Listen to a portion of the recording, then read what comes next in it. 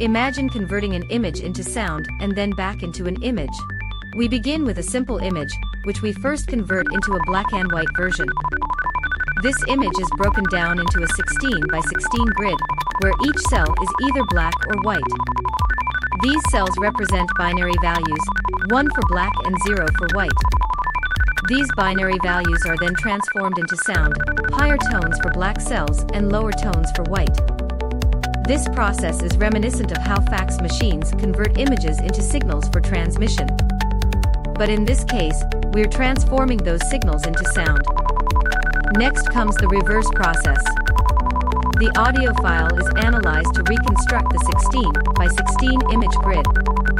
This illustrates how data can be converted from one form to another, and then back again, a fundamental principle in modern communication systems.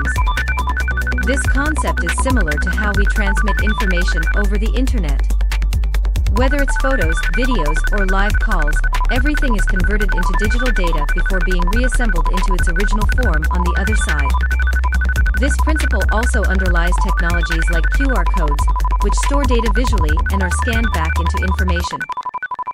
By understanding these principles, you're tapping into the core of digital communication.